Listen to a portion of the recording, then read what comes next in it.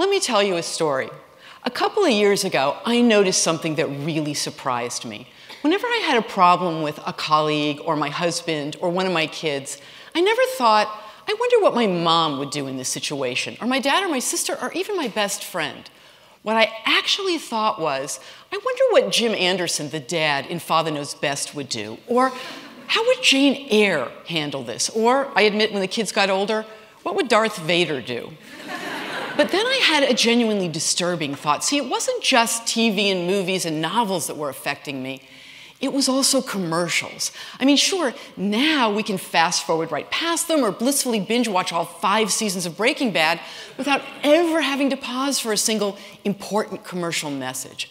But back in the day, we had to sit all the way through them, and they were long, sometimes a whole entire minute, which always felt to me like such an incredible waste of time and money on the advertiser's part. I mean, I, for one, was way too sophisticated to be influenced by some cheesy ad extolling the virtues of a random brand of laundry detergent, especially since there was no chance I'd ever buy the brand in question given my tried and true method of picking cleaning products. I bought what my mom always used. Were they the best cleaning products? How the hell would I know? But they were familiar. They reminded me of home. They made me feel safe and secure. So I figured those ads had no influence over me. I was home free. Except I wasn't. It all came to a head late one night. My husband was away on a business trip. The kids were finally asleep, and I was jonesing for a little bit of adult conversation when, right on cue, there was an unexpected knock, and I heard my nice new neighbor call out my name. But instead of feeling happy, my heart started to pound because my house was a big, fat mess. I mean, sure, I bought the same cleaning products my mom did. Doesn't mean I actually used them. anyway, the knock came again, but I was frozen, paralyzed by this imaginary montage of utterly spotless houses in which women, and yeah, it was always women, were happily washing their clothes in Tide, or gleefully dusting with Endust, or joyfully swabbing the decks with Mop and Glo. I looked around at my own dirty, dusty, disheveled apartment, and I felt ashamed. Clearly, there was only one thing to do pretend I wasn't home. Yeah, see, somehow I had swallowed the bait and internalized the notion that if my house wasn't as pristine as those houses on TV, I was unworthy. Too unworthy to even open the door. And here's the really scary part. If you had asked me at any point from high school on, I would have told you in no uncertain terms that I do not believe that cleaning is a woman's job or that anyone's self worth should be defined by how recently he or she is dusted. This was something I believed to my core. Except it seems when it came to how I actually lived my life. Point being, I can't begin to tell you how disconcerting it was to discover that what I thought I passionately believed was at complete odds with what I felt was true. To wit, if my house is a mess, you'll know I'm unworthy and I'll feel ashamed, so please call before you come over. And it gets worse because you know what finally saved me? Watching reruns of Roseanne. You ever see her show? Her house was always this big, gigantic mess, and she could care less. In fact, she laughed in the face of anyone who judged her for it. And so, once again, without thinking about it, my worldview shifted. Seeing the world through Roseanne's eyes changed how I saw my world. It changed how I saw myself. So, having thus tracked down the origins of some of my most closely held beliefs, you can understand why, for a long time after that, I thought I was the shallowest person on the planet. I mean, whether I knew it or not, I was charting the deepest waters of my life based on advice from sitcoms and pop songs and movies and novels and cleaning product commercials. The world of entertainment was my guide, the world of make believe, the world of stories. I felt really dumb. But then I remembered something that Rafiki said to Simba in The Lion King. Yes, the past hurts, but you can either run from it or learn from it. And I decided to learn. So I started listening to other people's stories, and what I discovered was I wasn't the only one whose behavior, whose entire worldview was shaped by the stories I heard. In fact, do you know what's often cited as a major reason for the success of the civil rights movement in the 1960s? It was a novel. It was called To Kill a Mockingbird, and it profoundly shifted how white America viewed racism by allowing them to experience its inhuman injustice through the eyes of Scout, a six year old white girl. In fact, a 1991 survey by the Library of Congress Center for the Book found that To Kill a Mockingbird came in second only behind the Bible in books most often cited as making a difference. Oprah Winfrey called it our national novel. First Lady Laura Bush said it changed how people think. How? By changing how they felt. Because you can't change how someone thinks about something without first changing how they feel about it. We're always talking about how to reach other people, how to connect. We long to feel understood and heard and like we're making a difference in the world. And what do we do to make that happen? We explain ourselves. We rely on facts, figures, data, logical arguments to, to get our ideas across. In fact, chances are everyone from your mom to your kindergarten teacher to your history professor has extolled this particular method of, of getting information across if you really want people to actually understand what you're saying. And as you may have noticed, it doesn't really work. I mean, just look at how polarized our country is at the moment. Now, whatever side you're on politically, I'm betting that at some point you thought, you know, if only I could get the other side to really understand what's actually going on here, we'd all be on the same page. So I'll just explain it to them one more time. Good luck with that, because that other person, you know what they're doing while you're explaining it to them? They're waiting for you to stop talking so they can tell, tell you why everything you just said was wrong and why what they believe is right. And when they're talking, you're doing the same thing to them. So you don't get anywhere that way. Turns out the only way to get people to really understand you has very little to do with objectively outlining the facts and making detailed analytic arguments.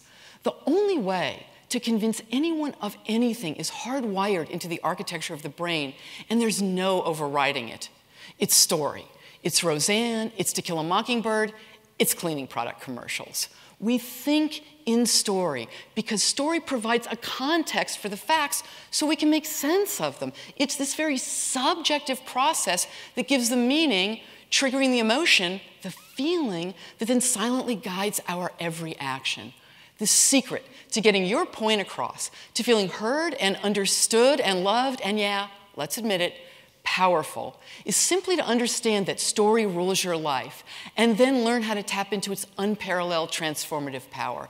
Because make no mistake, story is a superpower that's been hiding in plain sight from time immemorial. There has never been a society on earth that didn't have storytelling. It's a human universal, which should have clued us into the fact that there's a bit more to it than just a great way to spend a Saturday night.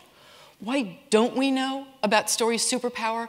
Why does it come as a surprise that we're wired for story, that story is how we make sense of everything from birth until we shuffle off this mortal coil?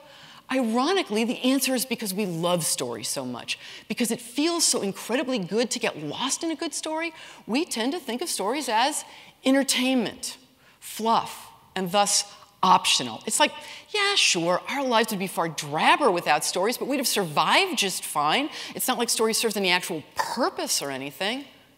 And that couldn't be further from the truth. Story was more crucial to our evolution than our opposable thumbs. Because all opposable thumbs did was let us hang on.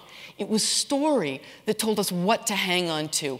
Just think of story as the world's first virtual reality minus the geeky visor. Because without story, all we'd have is the perpetual right now. We wouldn't even know there was a tomorrow, let alone be able to speculate on the dangers and delights that might wait for us there.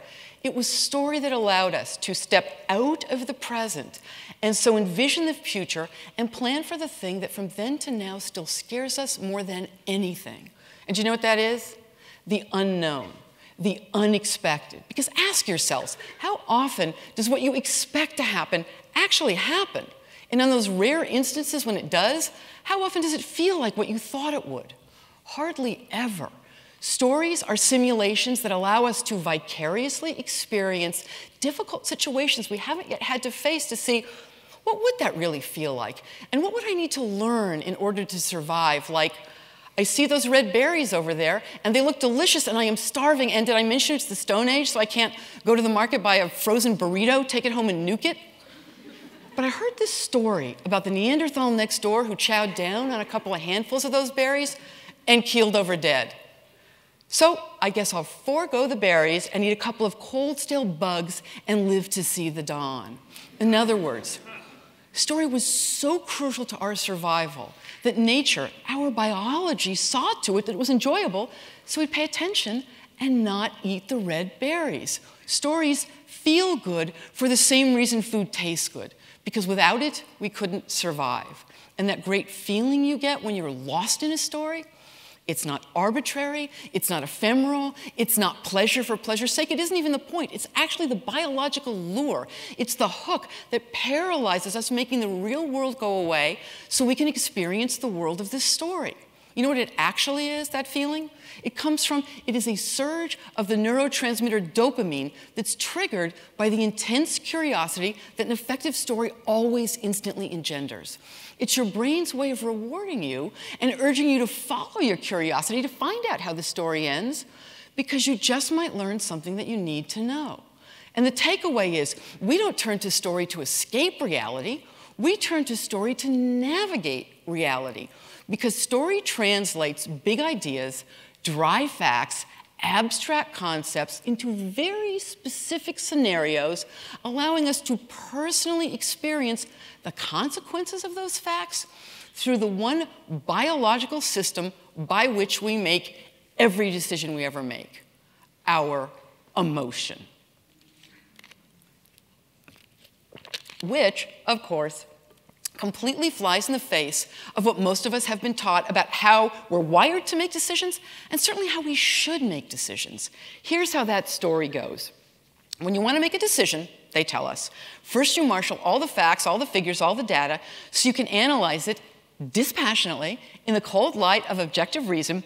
And during this process, there's one thing they want you to be vigilant about, and that is keeping emotion at bay because emotion is an irascible scamp and it's going to try to tiptoe in and cloud your judgment so you make a bad, irrational, illogical, impetuous decision that you are bound to regret.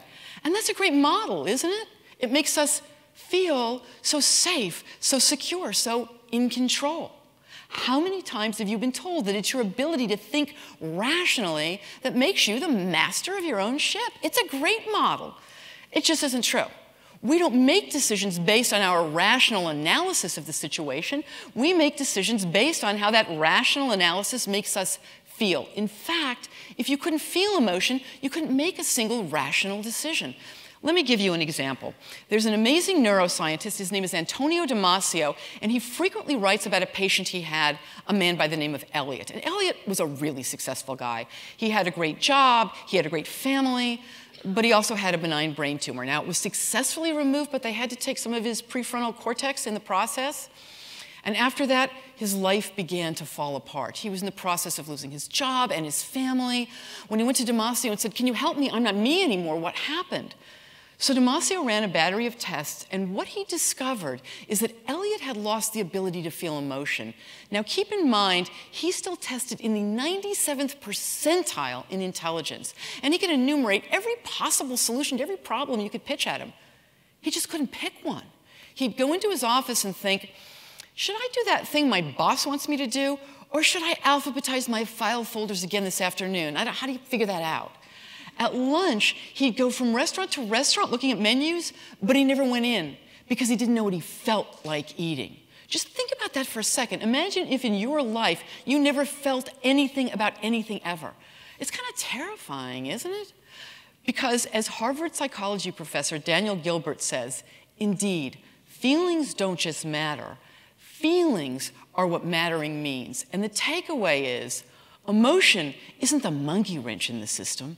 Emotion is the system, which brings us right back to story. Because the brain doesn't learn by thinking about things objectively, the brain learns by feeling things subjectively. And story is the language of experience, whether yours, someone else's, or that of a fictional character. We think in narrative. You are the protagonist in your own life, and you evaluate everything, whether physical, social, or conceptual, based on one thing How is this going to affect me personally, given my specific agenda? Which is why we have the biological ability to push the pause button and put reality on hold so we can get lost in a good story.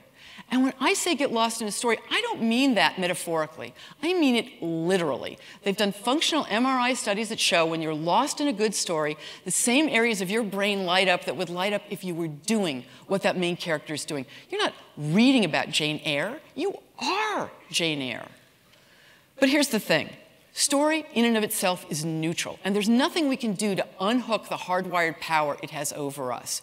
You are being affected by stories every minute of every day, whether you know it or not. And yeah, sometimes they take us in, in the right direction, like To Kill a Mockingbird but they can take us just as far in the other direction. You can end up believing that having a pristine house is what makes you worthy, and then you can go out to McDonald's for a Big Mac, a supersized fries, and a 32 ounce Coke because you deserve a break today. Or a bit more chillingly, you can internalize the notion that greed is good and that the less fortunate are takers rather than makers and so deserve to starve. That's why understanding the secret power of story is so crucial. And it can give you a sword and a shield. So, how can you use story to better navigate your own life? Here are three ways. First, learn to sense when you're in the sway of a good story. Yeah, you are going to feel first. That, that surge of empowerment that an effective story always leaves you with, that doesn't make you a dupe, it makes you human. But afterwards, respond mindfully. Weigh what the stories taught you against what you believe to be true. Did it really speak your language, or was it a Trojan horse smuggling in ideas and beliefs that if you saw coming at you head on, you would run from? Second, take some time and learn to master the tools of storytelling. So the next time you want to connect with someone, whether to motivate them or talk them into or out of something, you won't begin by explaining it to them. Instead, you'll be able to put yourself in their shoes so you can tell them a story that lets them see the world from yours. And finally, never underestimate the power of story. It doesn't just change how we see some things some of the time. It's the only thing that changes how we see the world and therefore what we do in the world. All stories are a call to action. The power of story is yours. Use it wisely. Thank you.